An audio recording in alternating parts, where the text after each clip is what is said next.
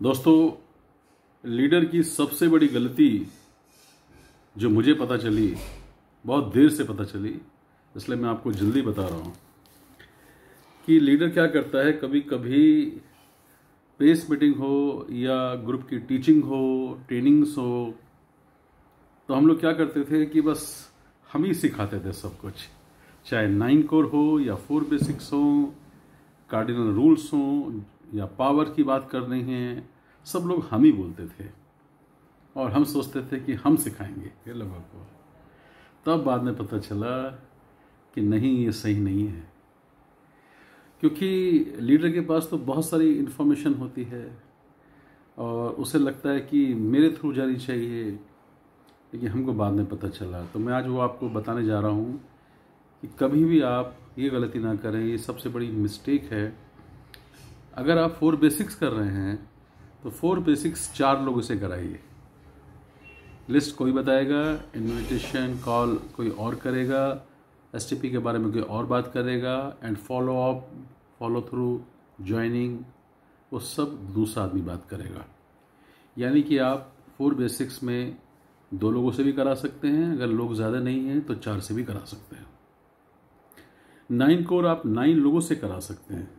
तो नाइन लोगों को आपने मौका दिया बात करने का। हम अपनी टीम में बहुत सारे लोगों को, लीडर को अपकमिंग लीडर्स को, या जो लीडर बनने की तैयारी में हैं, उनको मौका ही नहीं देते हैं।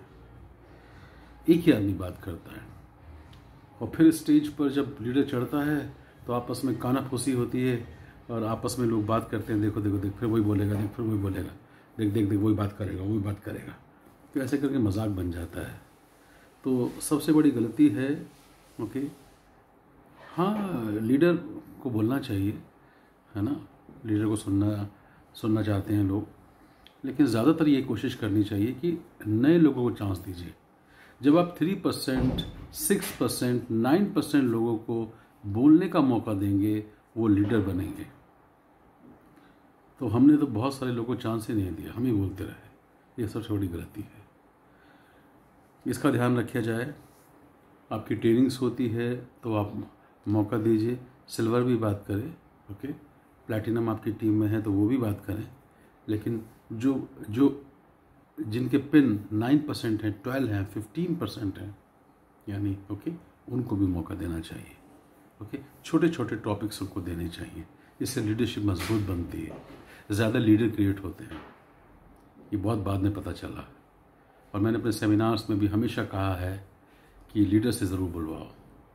याद रखिए कि अगर आप बहुत ज़्यादा बोल रहे हैं तो आपको बहुत कम सुना जाएगा, बहुत कम पसंद किया जाएगा। अगर आप कम बात करेंगे, आपको टॉपिक दिया दस मिनट का नाइन मिनट में आप ख़त्म करेंगे, या आधा घंटे का टॉपिक दिया आप ट्वेंटी फाइव मिनट में ख़त्म करेंगे, लोग आपको सुनने को बेताब होंगे, ज़्यादा सुना जाएगा। बहुत सारी ट्रेनिंग में मैंने देखा है कि लोग बहुत सारे सो कॉल्ड लीडर्स सुना सुना के, सुना सुना के लोगों को पका देते हैं, बहुत ज़्यादा बातें करते हैं। और बड़ी बड़ी टीचिंग्स नहीं होनी चाहिए बड़ी बड़ी टीचिंग्स छोटे ग्रुप्स में नहीं होनी चाहिए। अगर आपका ग्रुप सिर्फ़ सिल्वर का है और आप ट्रेनिंग दे रहे हैं तो या 15 परसेंट का है तो आप वहाँ पर ट्रेनिंग्स में आप बहुत बड़ी बड़ी चीज़ें बताना है छोटी छोटी बातें बताएँ। कैसे थ्री परसेंट ब्रेक करना है। सिक्स परसेंट कैसे ब्रेक करना है? ओके छोटे छोटे टॉपिक्स कैसे ऑब्जेक्शन हैंडलिंग करना है उसके बारे में बात करें। एंड uh, कैसे मीटिंग बुक होती है जूम मीटिंग कैसे बुक होती है फोर बेसिक्स हमेशा बताते रहे हैं ओके ये बातें करनी चाहिए। कभी कभी हमारे हम छोटे ग्रुप्स में जहाँ अभी लोग नए हैं वहाँ पर कभी कभी हम लोग थ्री पावर्स की बात कर लेते हैं। है ना? अच्छा नहीं है।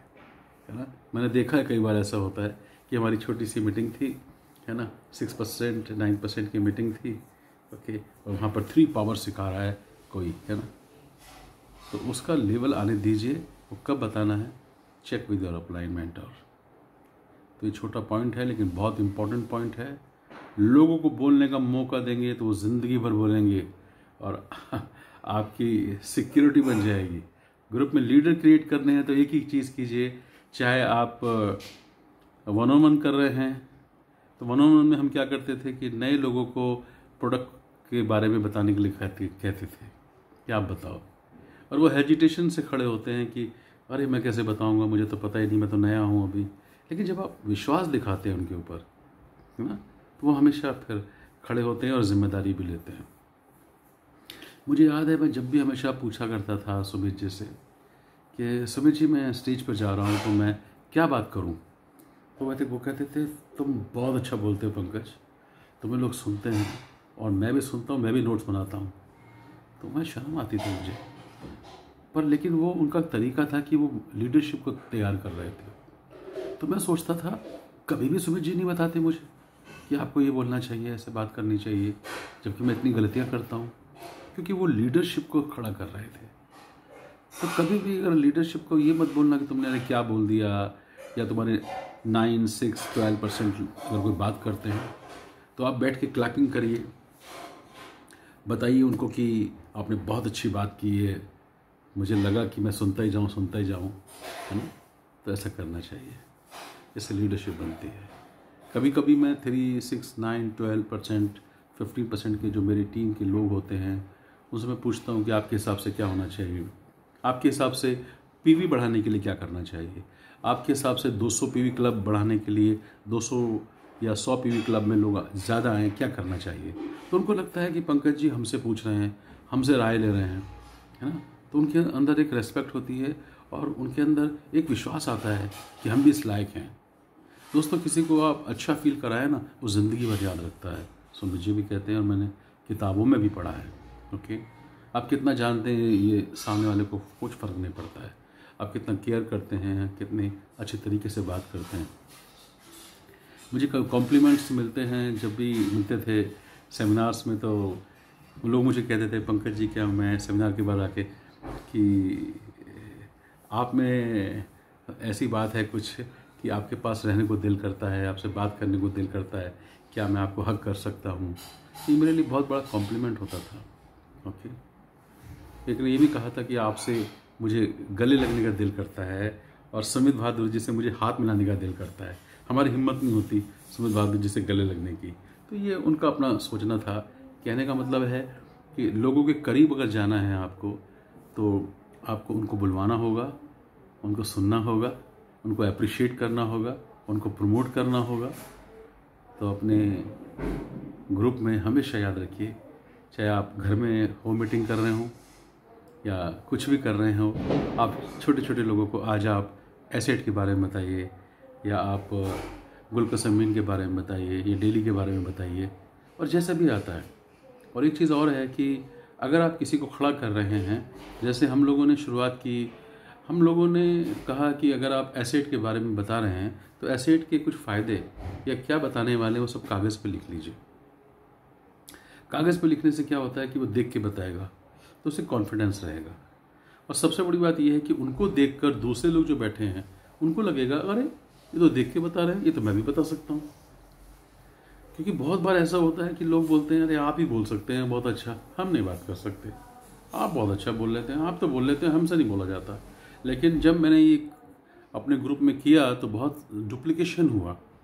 कुछ भी बता रहे हैं, चाहे फोर बेसिक्स बता रहे हैं नाइन कोर में से कोई स्टेप बता रहे हैं, जो जो भी प्रोडक्ट के बारे में बात कर रहे हैं, आप देख के बताइए। अगर प्लान भी दिखा रहे हैं इवन आप तो प्लान को ऐसे देखकर, ऐसे लिख के बताइए। ऐसे देखिए, चाहे आपको प्लान देख, दिखाना आता है, आप जानते हैं, लेकिन फिर भी सामने वाले को देख के असर पड़ेगा कि ये तो इतने बड़े लीडर होकर देख के बता रही है तो मैं भी बता सकता हूँ। तो ग्रुप में अपना मैसेज को कैसे कन्वे करना है, ये बहुत इंपॉर्टेंट पॉइंट है। है ना? क्या सिखाना इंपॉर्टेंट नहीं, कैसे सिखाना ज़्यादा इंपॉर्टेंट है? है ना? तो मैं ये छोटे छोटे पॉइंट्स जो है ना, हमेशा मिसिंग करता था ये। मैं अपने टॉक में वही बात कर रहा हूँ, जो मैंने मिस किया। मैं किसी से पूछता था एलएस में कि what is the secret of success in this business तो लोग बोलते थे show the plan show the plan show the plan तो तो समझ में आती है कि प्लान दिखाने चाहिए। प्लान दिखाने से ज़्यादा प्लान दिखाने से। अच्छा प्लान दिखाने वाला नहीं कामयाब होता। ज़्यादा प्लान दिखाने वाला कामयाब होता है। लेकिन प्लान मुझे बाद में समझ में आया कि प्लान दिखाना इम्पोर्टेंट नहीं है। प्लान कैसे दिखाना है, किसको दिखाना है, कितना दिखाना है, कितनी इनकम दिखानी है, कौन सा पॉइंट कवर करना है, उसको मैकडोनल्ड्स का डुप्लीकेशन फ्रेंचाइजिंग मॉडल दिखाना है या नहीं दिखाना? उसको रॉबर्ट क्योसाकी का फोर कोऑर्डिनेट दिखाना है या नहीं दिखाना? है ओके कितनी इनकम बतानी है प्लेटिनम इनकम तक बताना है प्लान या सिल्वर तक बताना है, या एमरल्ड तक बताना है डायमंड तक बताना है क्राउन तक बताना है, क्या पॉइंट बताना है? ये ज़्यादा इंपॉर्टेंट है। तो प्लान दिखाना इंपॉर्टेंट नहीं, कैसे प्लान दिखाना इंपॉर्टेंट है? ओके तो ये बड़ा इंपॉर्टेंट पॉइंट है कि मैं जब बहुत सारे लीडर्स को मैं देखता हूँ कि जब ओपन मीटिंग्स करते हैं तो उसमें जो टॉपिक्स लेते हैं कभी कभी वो टॉपिक लेते हैं जो ज़रूरत नहीं है। एक एक न्यू ऑडियंस को क्या चाहिए? तो आपको ये समझना पड़ेगा कि थ्री परसेंट वाले सिक्स परसेंट वालों को क्या बताना है? या जब आपने किसी ने ज्वाइन किया है और आप उसके साथ पहली मीटिंग कर रहे हैं तो फ़र्स्ट मीटिंग में आप उसको क्या पूछ रहे हैं? क्या बता रहे हैं? कितना बता रहे हैं? वो कितना आपसे वो ट्रेनिंग लेने के लायक है? कौन सी किताब रिकमेंड कर रहे हैं? कौन सी सीडी रिकमेंड कर रहे हैं? क्या चीज़ भेज रहे हैं आप? जैसे आज ही मैंने एक मीटिंग की ओके वो अभी ज्वाइन हुए हैं हमारी टीम में, है ना? तो हमने, मैंने उसको वो स्टूडेंट है उन्नीस साल की एज है। मैं उसको पूछ रहा था कि उनके बारे में जान रहा था। तो कम से कम मैंने दस मिनट उनके बारे में जाना, उनके परिवार के बारे में जाना। उनका क्या हॉबी है? वो क्या पढ़ना चाहते हैं? क्या करियर सोच रहे हैं? क्या माइंडसेट है डायरेक्ट सेलिंग के लिए? है ना? तो मुझे उनको सुनना है। फिर मैंने पूछा, आपको मुझसे कुछ पूछना है क्या? तो उन्होंने बोला हाँ मुझे आपके बारे में ये जानना है। तो मैंने कहा, मैं भेजता हूँ उसको। फिर मैंने तो मुझे उनको समझना है, मुझे उसको बहुत टीचिंग नहीं देनी है। हम बहुत गलतियाँ करते थे ज्वाइन कराने के बाद उसको बहुत सारे टूल्स देते थे।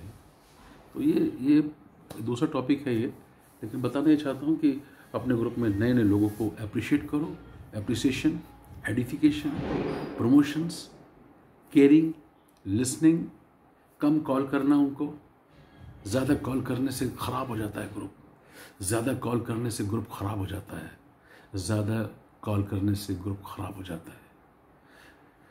सबसे एक्सक्यूज मी सबसे बढ़िया काम तब होगा, लोग करेंगे, जब उनको पता चल जाए कि आप उन्हें देख नहीं रहे हैं। ओके तो ये बात ध्यान रखिएगा।